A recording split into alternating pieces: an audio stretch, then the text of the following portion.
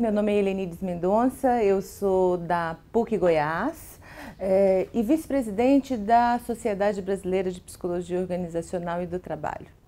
Agradeço o Conselho por, é, por ter possibilitado à sociedade fazer esse evento aqui, esse workshop, isso é de fundamental importância, não seria possível sem essa atuação fundamental do Conselho, abrindo editais que possibilitassem para todas as entidades na área da psicologia virem e discutirem a profissão e a atuação do psicólogo nos seus campos específicos de atuação dentro do Conselho de Psicologia.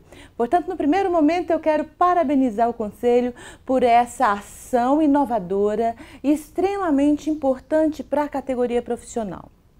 Agora, falando especificamente do workshop sobre competências em psicologia organizacional e do trabalho, eh, eu gostaria de ressaltar o quanto esse trabalho tem sido produtivo à medida que pôde agregar num grupo de profissionais das diferentes partes do país né? O presidente da sociedade ele conseguiu convidar, não é, é, profissionais, professores, pesquisadores com ampla experiência e vindos de regiões distintas desse país que é enorme, né? Que tem dimensões territoriais enormes.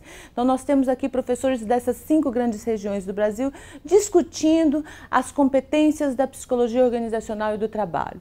Essas competências, né, analisar e reanalisar essas competências em pote é um trabalho muito importante para a própria formação do profissional. Né? Se a gente vai na literatura, nós temos alguns modelos de competência ensaiados no Brasil, mas não algo que tivesse mesmo um lastro mais consistente e um debate mais consistente com diferentes profissionais para elaborar um, um roteiro que abarcasse a psicologia organizacional nas suas interfaces, nas suas interdisciplinaridades é, e, no, e em toda essa dinâmica e diversidade que é o trabalho do psicólogo organizacional e do trabalho.